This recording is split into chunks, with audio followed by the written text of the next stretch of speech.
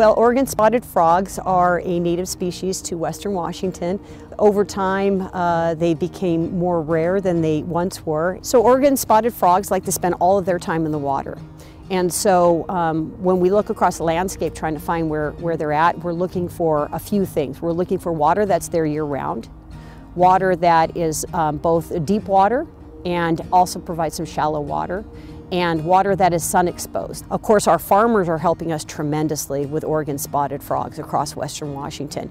And so farmers who are grazing those properties with their cattle, um, that are mowing those fields, that are haying those fields. They're keeping all of that invasive grasses that were brought into the state for livestock. They're keeping all those invasive grasses in control and that keeps the water flowing through the property and that allows the spotted frogs and other animals to move back and forth through the property. So there's a variety of incentives we use um, that working with private property owners that we can offer them. We go out and seek money that we can offer to these landowners to either A, sell their land if they're interested in that or sell part of their land. The other thing that we can do if landowners want to keep hold of their property but um, they want to make some economics is we can buy a conservation easement. The last thing that uh, we can offer private landowners is a tax incentive.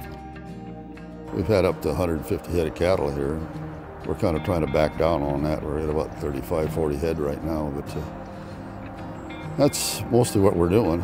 The spotted frog really hasn't hurt me one way or the other. I just can't put the cattle on it from for the breeding season of the frogs. That really didn't affect me anyway because I I really couldn't put the cattle out there in that type of situation because it was too wet. But this here, I don't see where it's going to hurt me at all. Uh, and money's always nice. you manage to spend it. So what we can do in our programs and grazing programs like ours is really work to establish a lot of the practices that the Oregon spotted frog finds beneficial. One of the recent findings that we're finding is that the Oregon spotted frog likes to lay its eggs in short grass. The common procedure for that has been out to go out manually and cut that grass late in the season. On the flip side of that is a lot of man hours, burning fossil fuels and everything else doing that. On the flip side, our cattle are great little opportunistics as they go out and they eat that grass, create that short stubble height the Oregon spotted frog in the early spring when it starts laying its eggs and developing its oviposition sites really thrives at. And it's a great opportunity as a producer to be able to graze late in the season and ultimately that improves some of our bottom line as we don't have to go on to winter feeder quite as early in the season.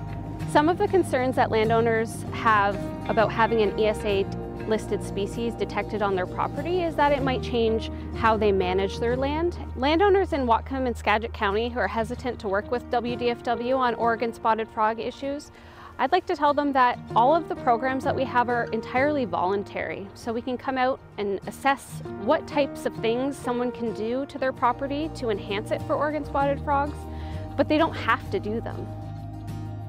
I think the biggest thing that I tell property owners and stakeholders with working with groups like uh, Washington State Fish and Wildlife and other e ecology groups is be open. I always find out if you talk to people, you can usually work something out. So every year we're knocking on people's door, we're making our introduction, we're asking them if they wouldn't mind for us to come and do a survey on their property. We're getting funds to help manage those properties and the habitat there so that the Oregon spotted frog have what they need.